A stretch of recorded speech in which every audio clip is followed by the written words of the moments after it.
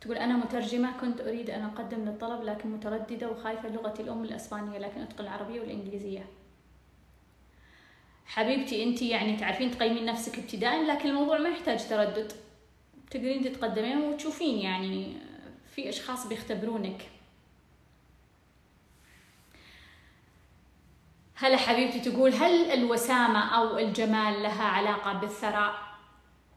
خلنا نقول إنه أي طاقة مرتفعة أو عالية أو قوية تستطيع أن تتصل مع طاقة الثراء أي طاقة مرتفعة قوية وعالية تستطيع أن تتصل مع طاقة الثراء باعتبار أن طاقة الثراء طاقة قوية وكبيرة وعالية. لذلك لما يكون مثلا عندي سيدة جميلة تكون عندها احتمالات أنها تتزوج رجل ثري. أكثر من سيدة ليست بجميلة. لكن السؤال هل ستنجح في هذا؟ هل ستدرك قيمة جمالها؟ هل ترى أنها تستحق؟ ولما تتزوج ثري هل ستتقبل المال؟ هل ستستطيع التعامل مع المال بطريقة صحيحة ولا تسوي U-turn وترجع لأهلها؟ ولا تغير القصر اللي هي ساكنة فيه وتحوله إلى بيت فقراء ما كنت شفتوا هالمشهد امرأة جاية من فوق جميلة وكذا يعني جمالها دخلها دخلها مكان وبعدين احتقرت كذا كل الأثرياء و... ما كنت شفتوا هذا النموذج؟ ما كنت شفتوا واحدة دخلت على بيت أسرة ملكية تقول لهم تشحذهم تقول لهم عندكم جلاس كنت شفتوا أو سمعتوا عن هذا المشهد؟ ما كنت؟ ما كنت شفتوا أو سمعتوا عن هذا المشهد؟ دخلة أسرة ملكية أوكي؟ تقول ممكن ممكن جلاس ممكن. يا ريت الحلال حنا وحنا ما حنا أسر ملكية لا يمكن نعطي جلاس حقنا لأحد.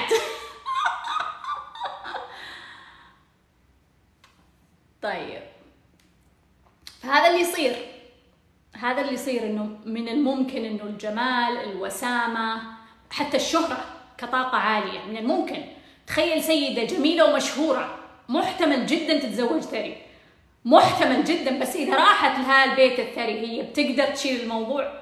ولا تدخل لي في سخافات فقراء وسخافات مختافة وسخافات يعني على قدها وعلى مستواها؟ تقول أول مرة أشوفها تضحك. تقصديني أنا؟ oh my God هذه تقصدني البنت؟ تقول أول مرة أشوفها.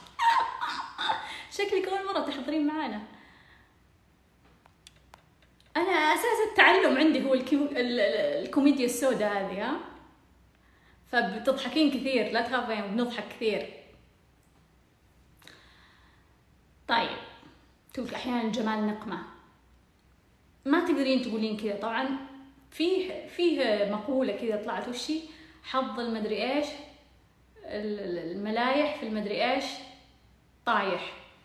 ما تقدرين تقولين تقدرين تقولين إنه التعامل مع الطاقات العالية مو هين. فيا إما تتعامل معها صح يا إما تحرق هذا هو. طيب صديقتي تقول أه وضعت نية الثراء وتجلت لي وظيفة العمل مع أمير. حبيبتي مبروك. الله يقويك. صدقوا بقعد أضحك قبل ما أنام على هذه اللي قالت أول مرة أشوفها. تضحك okay. Oh my God يا سلوى تقول كيف نطور النظام التعليمي الذي يعاني فيه التلاميذ من النفور والملل وما الحلول الناجعة لتطويره نحو الأفضل؟ اوه ماي جاد يا سلوى. أنا صراحة ماني وزيرة التعليم ولا هو شغلي هذا. آه حنين إيش رأيك في تجربة جورجينا للثراء؟ أنا تكلمت عن الفيلم أول ما نزل. وقلت لكم تعليقي إنه أنا أنتظر العرس. عشان تكتمل القصة. القصة ما زالت مفتوحة. أنا أنتظر العرس. متى بيعرسون؟ متى الزواج؟ هي تبغى تتزوج صح؟ أوكي. لسه ما صار. متى بتتزوج؟ فلما تتزوج نقدر نشوف الموضوع بطريقة واضحة. هل نية الثراء تتعارض مع وجود زوج مرتاح ماديا لأن هناك خصام بيني وبينها قبل بداية هذا الشهر بعشرة أيام. أفنان حبيبتي it's okay okay, عادي كل الأزواج يعني يتضاربون ويتصالحون وكذا ويوم فوق ويوم تحت عادي يعني. زي أي بيت. زي أي بيت يعني بتتصالحون تتصالحون. يعني وبتتهاوشون مرة ثانية. بس وين النقطة المهمة؟ بالعكس. كون إنه زوجك مرتاح ماديا هذا يعطيني احتمالية للثراء أكثر. لأنه ولا يعني إنكم مختلفين انه إنه انت طلعتي من طاقته. بالعكس أنتم مختلفين أنتم لازقين ببعض.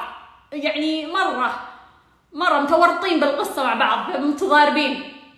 فانت ما طلعتي من طاقته هو ما طلع من طاقتك وما زلتم موجودين مع بعض وما زلتم تاخذون تعطون من طاقات بعض.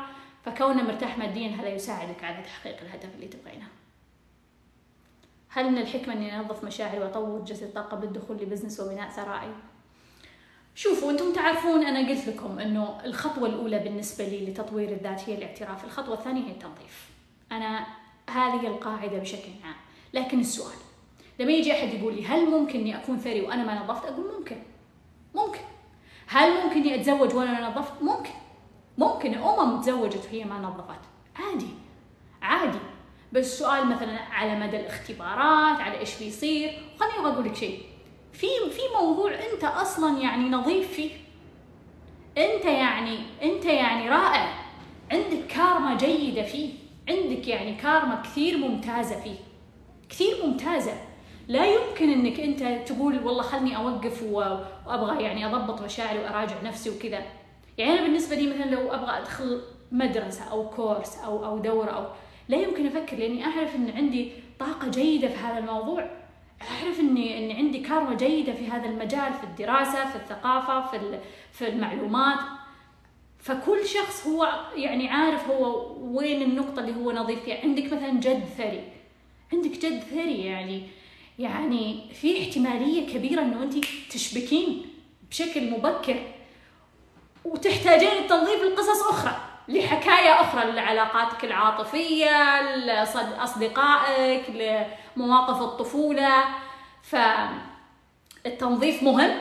أعتبره ثاني خطوة لتطوير الذات بشكل عام. لكن ما أقدر أقول إنه لن يتحقق الهدف ولن تتحقق النية إلا إذا نظفت. أبغى أقول لك إنه في كثير ناس صاروا أثرياء بدون ما ينظفون في كثير ناس تزوجوا بدون ما ينظفون. لكن إذا أنا أعرف إنه هذا هو الفيل الأبيض حقي عندي مشاكل فيه كثيرة أكيد أبغى أقول أحسن إنك تنظف قبل طيب خلينا ناخذ سؤال من ال TikTok. okay. 169 ألف like. شكرا جزيلا. شكرا جزيلا. يعطيكم العافية.